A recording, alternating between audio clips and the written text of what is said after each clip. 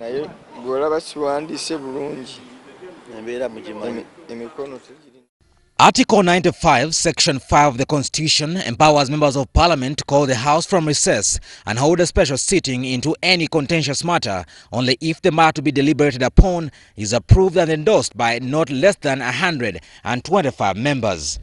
To this effect, these members have in a record one week time managed to collect all the 125 signatures required plus seven more and went ahead to hand Speaker Rebecca Kadaga a petition calling for the special sitting within the stipulated 21 days. mandated number by constitution by rules of procedure 126 names we already have them but what we are enjoying now are the extra signings. You have just seen me having an mp signing right now on my fresh page. You let him also say openly that he wants to abrogate, abrogate the constitution.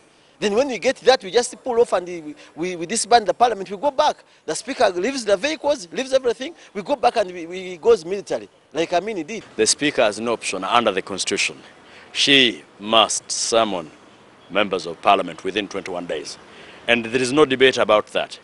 Anyone who thinks otherwise is simply daydreaming. And for the man who says over his dead body, then it means we are about to see it. Whoever has any claim against him should start the collection process. What the president is threatening that we shall sit as parliament over his dead body is unfortunate. And his family should help him. Because for us, we don't care whether he chooses to commit suicide or not. That's his business. Now, we are going to sit. That's a fact. You know, every small stone we add increases the weight. So this one vote is meant to tell the world that we are determined to fight corruption. Determined when we are strong, or even if we are still frail, like you see me. Among some of the concerns the House will look into, if recalled, are the manner in which MPs have harshly been treated of late by the state, the language of the president where legislators, separation of powers, and also to find out whether Parliament can still operate independently without pressure from the president. The speaker will have no option but call parliament next week. Because this is not a favor that anyone is seeking from the speaker. If it was a favor, we would walk to our office and plead.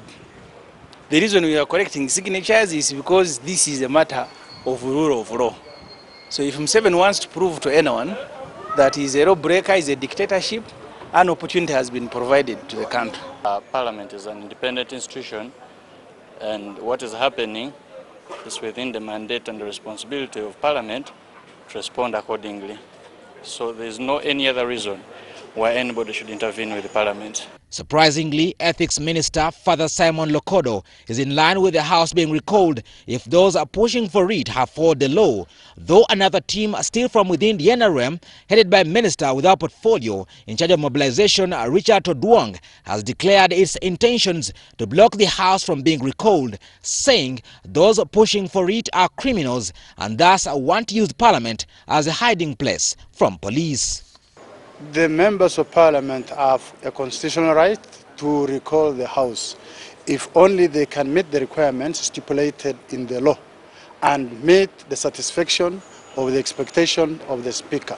If they have done it, wait to see.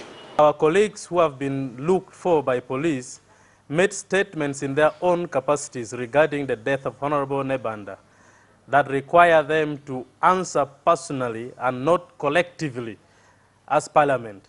Therefore, it is unfair to collect signatures from members who were not party to their utterances.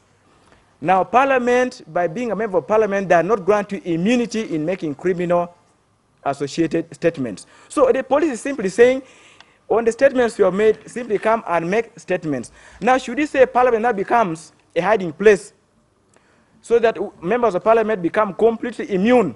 You can make statements against anybody and come in Parliament. According to Parliament rules, once the Speaker gets a petition to recall the House with the list of the 125 signatures from members supporting the petition, she has to do so within 25 days, though now there is a dilemma in the equation as members of the NRM head to Kyankwanzi for a special retreat from the 11th to the 15th of this month, meaning that the House might drag on for another two or three weeks. Well, despite the fact that the members are being hesitant on revealing the list of those who have signed so far, they say they have gone beyond the number they required. Now wait to see whether the Speaker will, according to the Constitution and Rules of Procedure of Parliament, call a special sitting before the 10th when the members will be going for a special retreat in Kyankwanzi. Kitali Moses, Rabis Television, the Ugandan Parliament.